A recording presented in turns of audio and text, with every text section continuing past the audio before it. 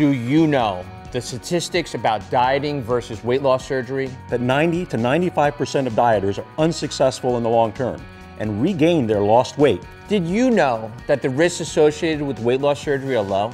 Weight loss surgery is the most important tool you can have if you want to keep the weight off and end yo yo dieting. Free informational seminars every week in a location near you or online. Register at stopobesityforlife.com or call 888 8 LAPBAND.